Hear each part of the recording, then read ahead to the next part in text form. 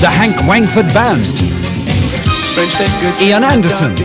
strike and leave the spark. It seems as arrows fly by night. They fly by night. And special guest Robin Gibb. Leo stars in his own show this Monday at 10 past 8. Just part of the new season of entertainment on BBC Two.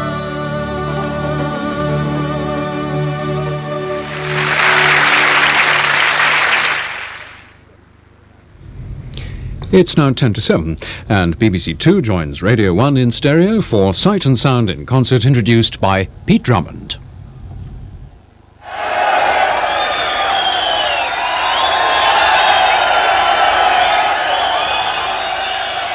Hello and welcome to another Sight and Sound in Concert. If, like me, you've ever wanted to visit Chippenham here in Wiltshire, your request has been fulfilled because we here are the Gold Diggers Club. And we're here to welcome a guy who uh, has been in a lot of bands over the years Colosseum, Thin Lizzy, to name but two.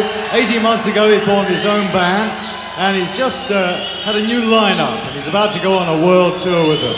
He's just about to release his third album called Victims of the Future.